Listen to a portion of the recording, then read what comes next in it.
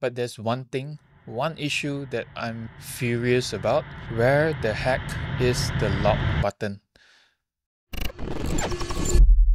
Hey guys, I'm Danny and in this video let's talk about the new micro color panel by Blackmagic Design and I have it right here so I didn't want to release an initial review because I think that this is one of the tools that you have to really get used to in order to properly use it. So when it's right fresh out of the box, I don't think that I can drop a review on all the buttons and everything. Maybe physically can, but for the practical use case, I can't really say much about that.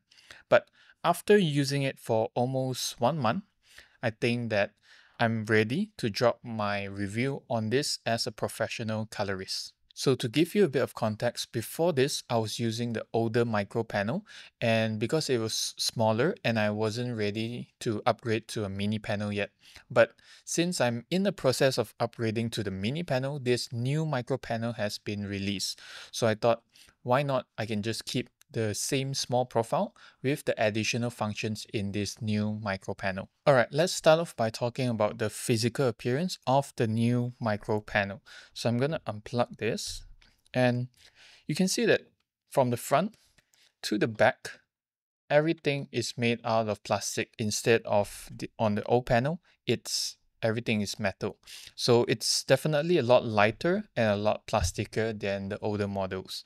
So I what I have here is actually a basis laptop stand in order to prop up the panel a bit so that it's not too flat on my table and I don't have to use an external laptop stand. So this is very useful if you want the panel to be sitting a little bit upright when you're doing your work. On top of the micro panel, you will also see an iPad stand and you can put the iPad here if you want a second display or you can also put your stylus here as I've seen some other colorists has been using it like this. And this iPad slot also signals to us the targeted users for this new panel, which are people that want to edit on the go on an iPad and bring it around so that it has to be light enough instead of the heavy metal finishing on the previous panels. So it also has Bluetooth function, which you can connect very easily. I don't have to show you that. And but what I'm doing here is actually connecting it to a wire. So I've done both types of connection and they seem to be fine. Even the Bluetooth, you won't experience any lag at all. So the another thing that I want to talk about is the battery life on this micro panel because this panel, unlike the other panels, actually has a battery built into it so that you don't have to plug it into an iPad if you want to use it that way. But the issue comes that I don't have a battery life indicator to know how long this uh, panel can actually last.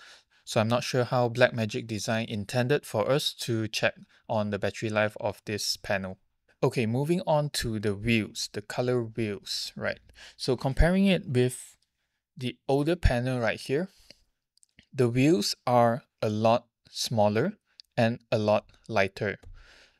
Although the middle rings, the balls, track balls are actually more or less the same, but the wheels are the biggest difference because if you see the profile on these new wheels, it's actually lower than the balls, the track balls. Okay, and this is something that I don't really like because it's very easy when I'm moving the wheels to accidentally move the track balls which is quite annoying actually. I do prefer if the wheels are actually higher a bit and more metallic on the older panels, alright? But something similar about this new panel is that these wheels are also magnetic, so they are removable in case you want to clean your trackball. Okay. And after using the wheels for a month or so, I realized that because they are so light, so it's very easy to exaggerate your adjustment.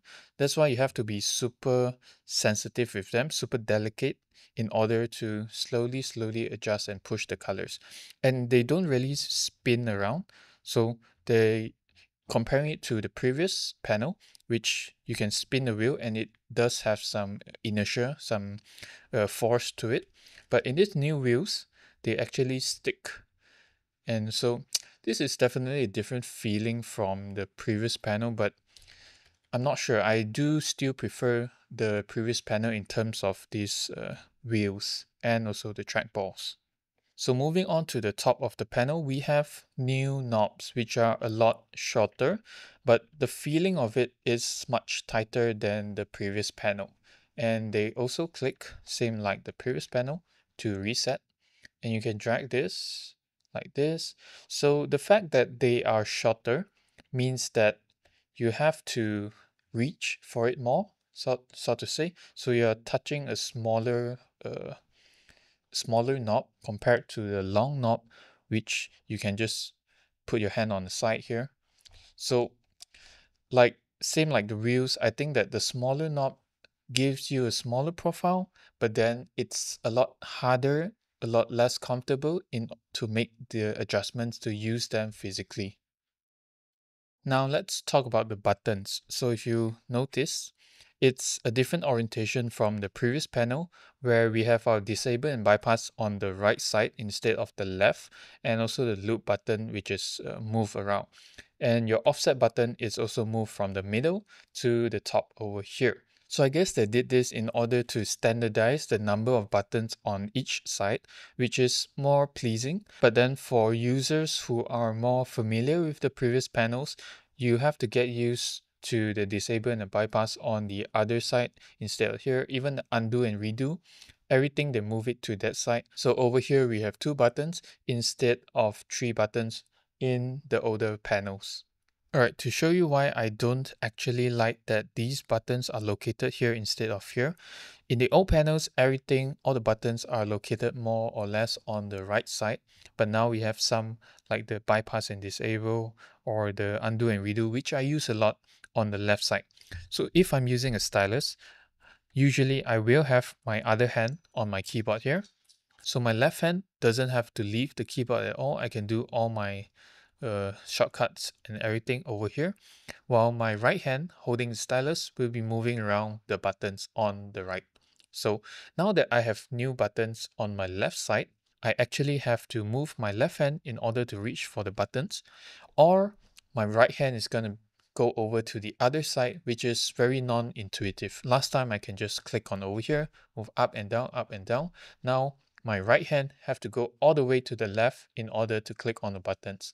Or I have to use two hands and move up and down, which is uh, maybe something I have to get used to, but it's definitely a lot more intuitive in the older panels where only, only my right hand moves up and down. So before we move on, actually, another thing that I forgot to talk about for the knobs is that instead of a 3-3-3-3 orientation for the knobs, now they came with a 4-4-4 orientation.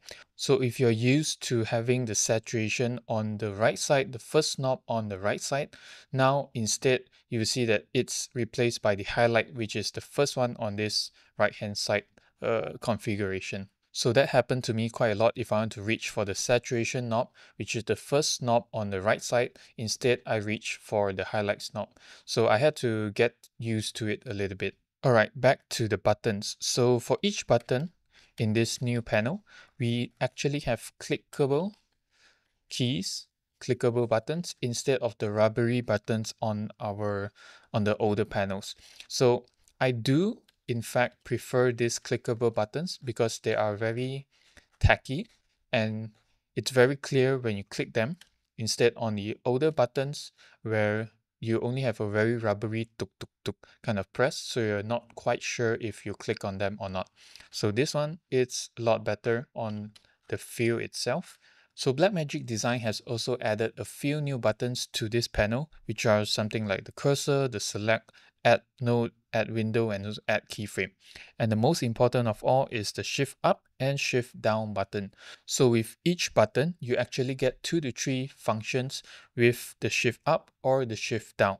But the additional functions or the hidden functions are not stated on each button itself. So you have to go through this manual in order to find out what the hidden functions are. The reason behind why they didn't want to label the additional functions on the buttons itself is so that it won't get overcrowded and too complicated for anyone to use. So I find these additional functions actually quite useful, but you have to get used to them. You have to know what is behind each button, what is the shift up function for each button, and what is the shift down function for each button. in order to fully maximize the use for it. If not, you're only going to be using it for the buttons that it is labeled for. So this requires you to spend time with it and really get used to this panel in order to maximize everything. And besides that, we also have a user button over here, which you can map to your own function or any key that you want. And there is also shift up for user and also shift down for user. So you have three custom functions that you can map to this button. So I'm quite happy with the improvement on the buttons itself. And I'm not too sure about the orientation of the new buttons because I'm still getting used to it. But there's one thing, one issue that I'm very, very furious about, which is where the heck is the log button? Don't you guys use log? Don't you guys use the shadow, midtones, and highlights? Blackmagic Design has decided to remove the log button, which was present on the older panel. So you can see that we have a log button over here. So I use, I do use the shadow function quite a lot. And this log button is very important to me because sometimes I just want to kill the blacks in the shadows. So they actually located it in the shift up and offset. So this is how you can access the log views.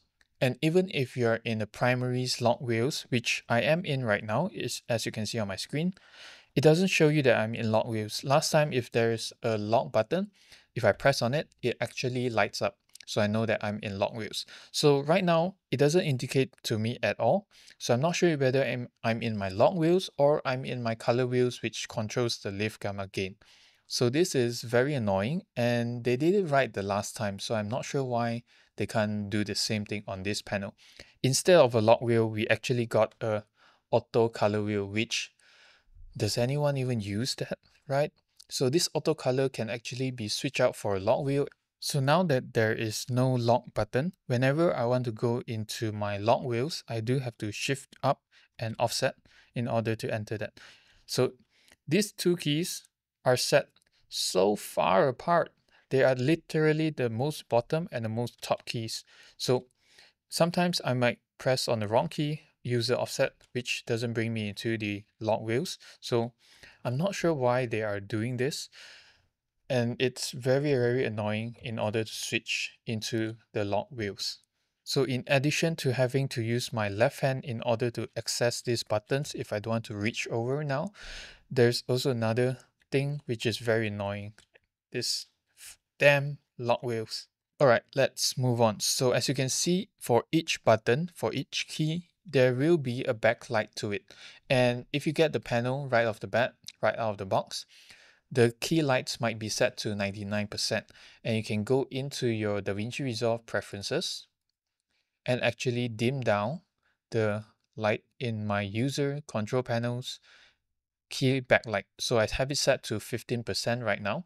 So before this at 99%, it's going to be super bright, which I don't really want because I'm working in a dark room. So I have it set to 15% in order to minimize on the brightness for it. So I'm very excited about the fact that you can control your power windows on the new panel using the shift up tool. But there are a few issues that I've experienced using it. So let's say for this one, I'm going to fully use the micro panel without using my stylus or my mouse, all right? So I'm going to create a window for this. Please select a power window, add window, so you can create different windows. For now, I'm going to create a circular window, so I just have to click on the add window button. And by shift up, I can move this window around with my right trackball. I can also resize it with the wheels and the reaction is a bit slow. As you can see, I have to do multiple turns in order to increase it to the size of my frame, right? So that's a bit annoying also. Why not I just use my stylus and I can just very quickly drag it to whatever size I want. So instead I have to turn it a few times on this uh, wheel and also trackball. That's uh, an annoying thing about this. But you can also control the rotation and the aspect of it with the middle wheel. And lastly, you can control the softness with the left wheel. All right. Okay. You can't actually reset that, which is uh, another annoying thing. why can't I just reset this to zero, right? There's no button for that. So you have to move it back something like this. I don't know, right? Something like this in order to move it back in position. And let's position this over her face. So in order to track for this window, I can shift down and click on add window. Then I can track for her face without having to move into this tracker page. I can track her face very quickly. So in previous panels, you don't actually have a shift up button in order to move the window around. But this begs the question, would it be faster if I just use a stylus in order to draw a window? That is uh, a debatable question, right? Because using the wheels here, everything moves very slow. So I'm not too happy about how it reacts like this. And another thing that I find a little annoying about this new feature that it doesn't include is that if I'm in a split screen mode, I don't actually get to see the outline of the window. So the window here actually closes the outline. I have to switch it back to power window and it moves me out of the split screen mode in order to just see the outline. I'm not sure why they can't include the outline in this split screen so that I don't have to jump back and forth if I want to do comparison between uh, two images or I want to match a reference. So although I can still control it, but I can't really see the outline of it. So if the effect is very minor, something like this, I can't see what it's doing at all. If I close my gallery, still can see where it's moving. Right, so you can see actually it's over here. So it's slightly annoying, but I hope that there's a good reason behind why is this uh, happening. Why do I have to always switch back to a full screen mode in order to see the outline of my power window? So I think Blackmagic Design missed the mark on some of the features that they can actually add to this micro color panel in order to improve it even further, even more practical, even more functional. And one of it is that I still can't control my hue versus hue, hue versus saturation, and hue versus luminance curves on this micro panel. So I still would have to get a mini panel in order to make those adjustments without having to use a mouse or a stylus. So what I'm thinking at the moment is to pair this new micro color panel with a Loupedeck CT. So I'm going to get a test unit and try to configure it to match, to complement this micro color panel for some things like the log button. I do need that a lot.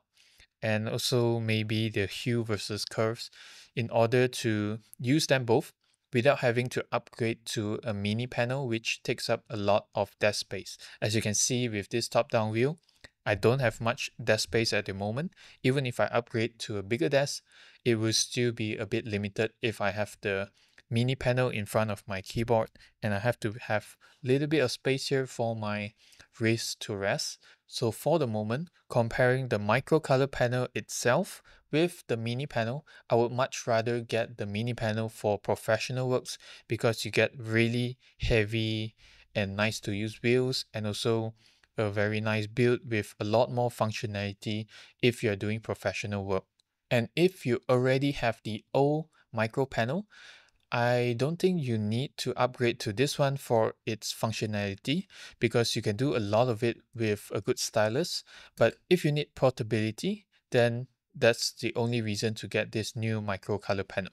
But if you don't have a panel at all, this micro color panel is a very good choice to start to get used to how to grade with a panel. So that's it for this video. These are most of my opinions and my thoughts on the new micro color panel. If I do have additional thoughts, I will drop them down in the comments. And yeah, this is once in a blue moon event, which where uh, Blackmagic Design release a new panel for the color page. So I do hope that they do release another mini panel and an upgraded mini panel in the future. But this is definitely right for the target users, which are users that want to edit to color on the go with an iPad, of course. But yeah, so it's a pretty long video and I'll see you guys in the next one. Bye bye.